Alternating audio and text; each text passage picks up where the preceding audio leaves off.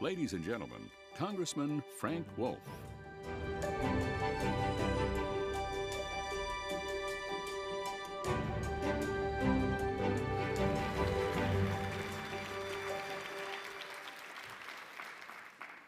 Uh, thank you. I have seen firsthand the results of genocide. I have traveled to lands forever changed by the atrocities committed there. I've spoken with men and women who have experienced unimaginable suffering and loss. I saw it in Darfur. Ambassador Brownback and I were the first members of Congress to travel there. We came back and we urged U.S. officials to act and to call it genocide. I saw it in Bosnia. I saw a Serb run detention facility for Bosnian Muslims. Congressman Chris Smith, one of the greatest members I ever served with, we went to Vukovar together. And weeks later, it fell, and everyone that Chris and I had met with had been murdered. I saw it in Rwanda, which the U.S. and the West ignored despite the desperate pleas for help, where hundreds of thousands were murdered. I saw it in northern Iraq. I visited Nineveh Plains, and where the ISIS had committed genocide against Christians and Yazidis. Yazidi parents wept over their daughters. We just heard the previous testimony. Wept over their daughters, brutally abducted by ISIS fighters. Christian leaders lamented the destruction of holy sites and the purging of entire communities from the ancient lands they had inhabited from antiquity. I saw it in Nigeria. Boko Haram has committed genocide against Christians, and there's genocidal activity by Fulani militants. A recent UN report numbered the deaths in Nigeria at 350,000 at the end of 2020, and the genocide continues. I saw it in China in my visit to Tibet, where Buddhist monks and nuns have been setting themselves on fire to protest a cultural genocide by China. In China, the government detains, harasses, and imprisons Catholic bishops and Protestant house church leaders. The Falun Gong face severe persecution, and there are continuous reports of organ harvesting. Most staggering is the campaign being waged against the Uyghur Muslim population. More than a million Uyghurs have been placed in detention camps. Former detainees report of torture, rape, and sterilization. There's a video that I'm sure many of you saw of hundreds of Uyghurs blindfolded and handcuffed being herded into trains.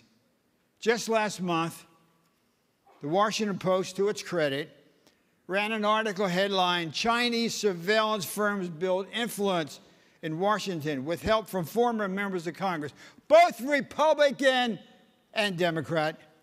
This company, the Chinese tech company Hikvision, is directly enabling the Chinese government in their campaign against the Uyghurs. At the same time, it is aggressively lobbying with the former aide of former members of Congress to prevent or remove U.S. government measures limiting the company's ability to do business with American companies and investors.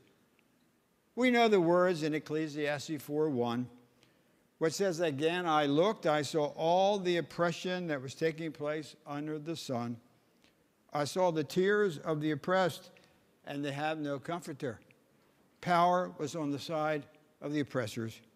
Power is on the side of the money interests. Power is on the side of those controlling the narrative. Power is on the side of the corporate elites who shamelessly prioritize market access to China above all else. The lobbying efforts I described earlier are not limited to China, but other bad actors as well. Their efforts, cloaked in respectability and business as usual in Washington, are an affront to human decency. This works against everything you in this room believe in, and they block what you work for. And so, what can be done? What must be done? What should be done? We need a law prohibiting former members of Congress and other high ranking officials from representing companies and government involved with and complicit in genocide and religious persecution.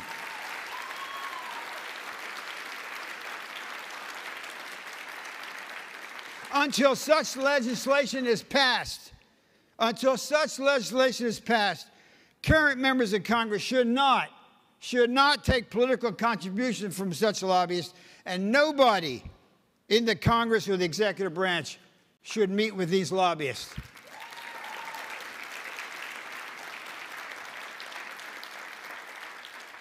and to aid in this affront, a religious freedom accountability project should be created to serve as a clearinghouse to collect, document, and publicize religious freedom abuses and those involved in these issues. The Reverend Dr. Martin Luther King said, In the end, we will remember not the words of our enemies, but the silence of our friends. Are we not the friends of the persecuted? And in the 18th century, British parliamentarian Wilbur Wilberforce said this to his fellow countrymen about the evils of the slave trade.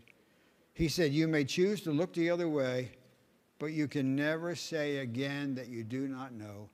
In 2021, with technology at our fingertips and news available 24 hours a day, we cannot say that we do not know. So, what remains to be seen is whether men and women of faith and others of goodwill will accept this challenge regardless of where it leads, or will we simply choose to look the other way? The stakes could not be higher. Thank you very much.